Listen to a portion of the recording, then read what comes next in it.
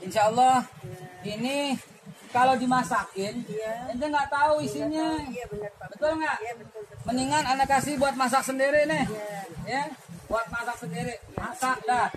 Jangan lagi terima nasi anjing. Lagi yuk. Ya. Ya, kita kasih semua. Nih buat di sini.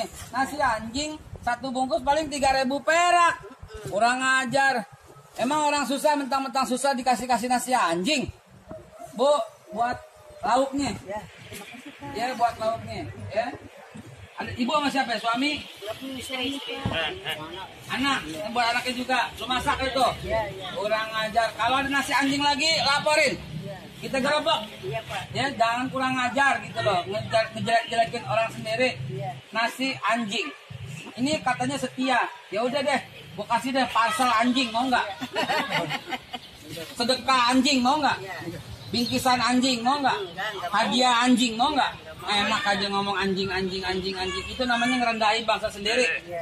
Enak aja. Emang dia orang mana? Orang Indonesia atau bukan? Kepada Andi, kepada pendeta semua, saya tantang Anda untuk diskusi apa maksudnya kahal. Ya, saya diskusi sama ente dalam bahasa Ibrani sekalian. Apa yang ente maksud kahal?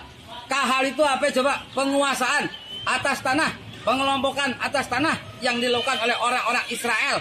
Enak aja orang Israel. Sini. Betul? Takbir semua. Allahu Akbar. Yang mau dikasih nasi anjing. Ayo, mana kumpul semua? Kumpul, bari.